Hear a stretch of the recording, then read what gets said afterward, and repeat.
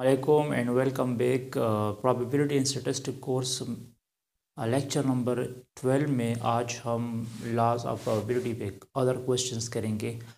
Lecture number three में मैंने explain किया था कि what is mutually exclusive events mutually exclusive events वो होते जब इवेंट्स के दरमियान कोई कॉमन पॉइंट ना आ जाए मतलब सारे इवेंट्स एक दूसरे से डिफरेंट होंगे।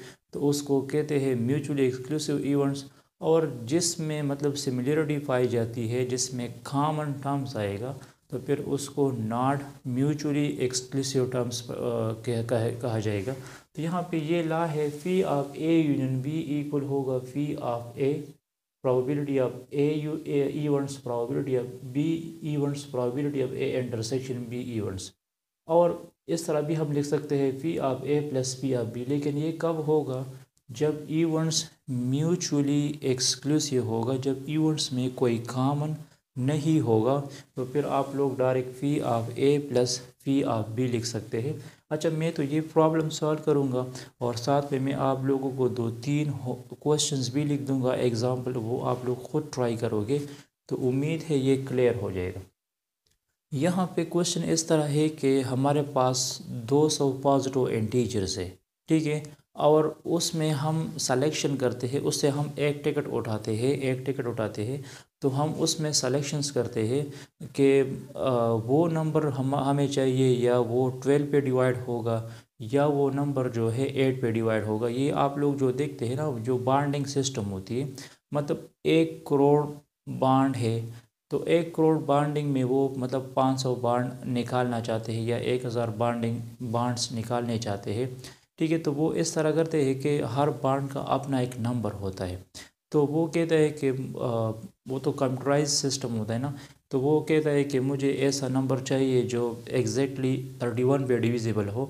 तो जितने भी एक करोड़ में नंबर्स होंगे, उसमें जो भी नंबर आएगा जो थर्टी वन पे एग्जैक्टली डिविजिबल होगा या फिफ्टी पे एग्जैक्टली डिविजिबल होगा तो वो नंबर ऑटोमेटिकली वो उठा लेते हैं और वो साइड पे रखते हैं। इस तरह नहीं होता कि ये बांड निकालो और ये ना निकालो, ये मतलब कंप्यूटराइज वो करते हैं। तो यहाँ पे हमारे पास 200 इंटीजर्स है और हमें दो इवेंट्स केवल है।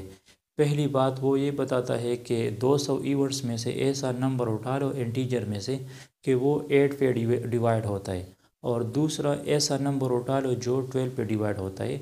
तो हमारे पास सबसे पहले जो टोटल सैंपल स्पेस है वो वन से लेकर टू हंड्रेड तक है। एक से लेकर दो हंड्रेड तक हमारे पास सैंपल स्पेस है।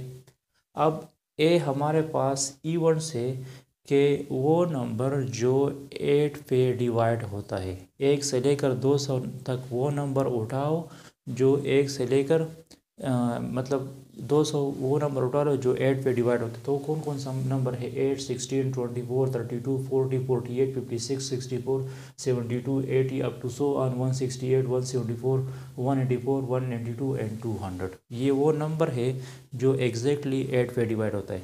बी इवेंट्स वो इवेंट्स है जो वो नंबर एग्जैक्टली ट्वेल्व पे डिवाइड होता है मतलब twelve twenty four thirty six forty eight sixty तो ये मैंने ये हम वन नाइन्टी टू तक जा सकते हैं। अच्छा अब ए और बी में कामन है कि नहीं है? तो हाँ इसमें कामन है।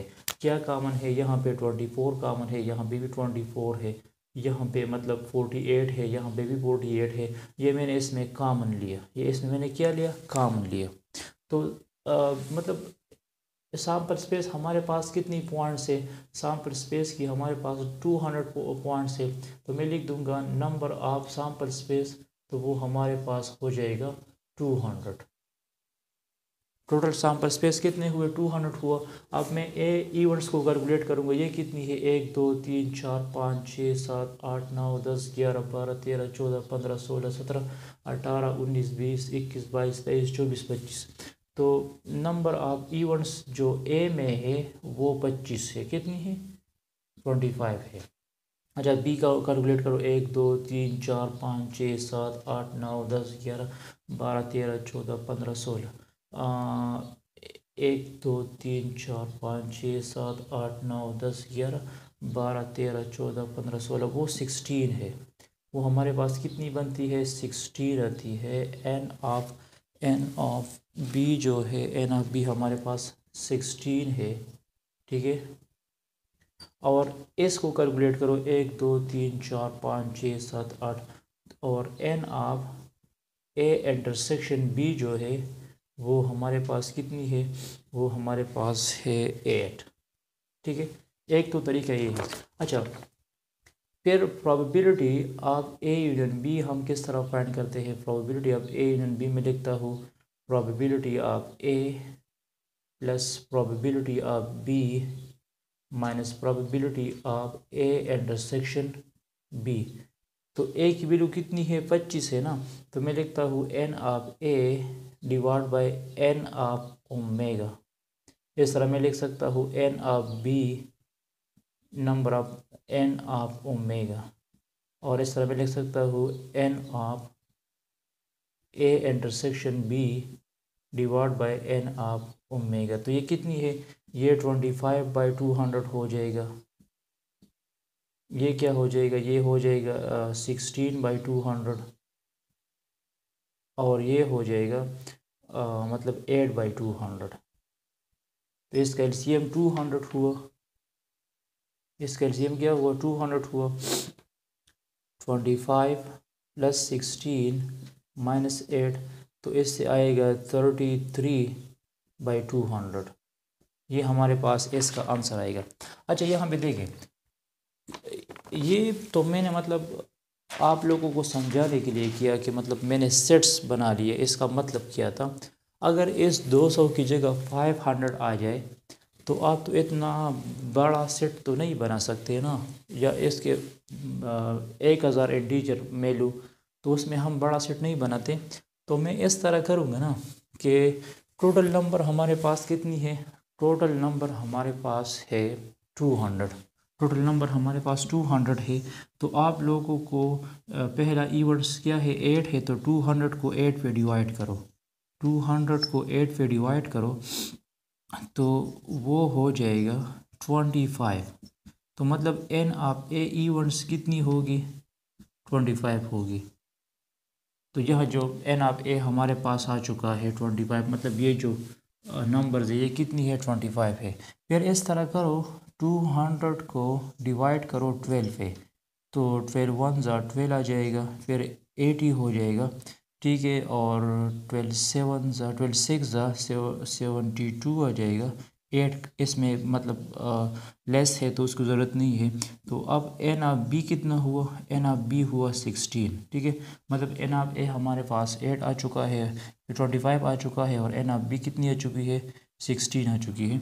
लेकिन आप ए इंटरसेक्शन बी किस तरह फाइंड करोगे? तो ए इंटरसेक्शन बी का मैं भी तरीके बताता हूँ। एक नंबर हमारे पास क्या है? एट है और दूसरा नंबर क्या है? ट्वेल्व है। तो इसका एलसीएम लो। ट्वेल्व और एट का एलसीएम लो। तो इसका एलसीएम जब लूँगा तो ये टू फोर ज़ा एट, थ्री फोर ज़ा ट्वेल्व, टू तो फिर टू थ्री ज़ा सिक्स और सिक्स फोर ज़ा ट्वेंटी फोर। तो फिर आप लोग इस तरह कर लो कि टू हंड्रेड को ट्वेंटी फोर पे डिवाइड करो। तो टू हंड्रेड को जब आप ट्वेंटी फोर पे डिवाइड करोगे तो एट आ जाएगा। ठीक है? मतलब इससे कम या ज़्यादा हो सकता है। तो फिर पी अब ए इंटरसेक्शन बी क्या होगा? एट होगा। मतलब अगर आपको सिर्फ़ direct number of events A calculate करने हैं तो टू हंड्रेड को एट पे डिवाइड करो। अगर बी के इवेंट्स चाहिए तो टू हंड्रेड को ट्वेल्व पे डिवाइड करो। लेकिन इसमें जो सिमिलरिटी पाई जाती है ए इंटरसेक्शन बी तो फिर आप लोग एट और ट्वेल्व का एलसीएम लो। अच्छा अब अगर ये क्वेश्चन इस तरह जाए कि अगर आपको कहा जाए, आप लोग इसको नोट कर सकते हैं, इस 200 की जगह 300 आ जाए तो फिर इसको किस तरह साल करना है? 300 को एट पे डिवाइड करो 300 को 12 पे डिवाइड करो और 300 को 24 पे डिवाइड करो। जब एट पे डिवाइड करोगे तो ए आएगा बी पे डिवाइड करोगे तो एन बी आएगा बी इन ट्वेल्व पे डिवाइड करोगे तो बी आएगा और ट्वेंटी फोर पे डिवाइड करोगे तो ए इंटरसेक्शन बी आएगा। ठीक है? अच्छा अगर इसकी जगह आ जाए सिक्स एंड टेन मतलब तो आपको सारा प्रोसेस इस तरह करना पड़ेगा। अच्छा आप लोग इसको खुद ट्राई करें, फिर भी अगर आप लोगों को मसला है तो कमेंट्स कर सकते हैं।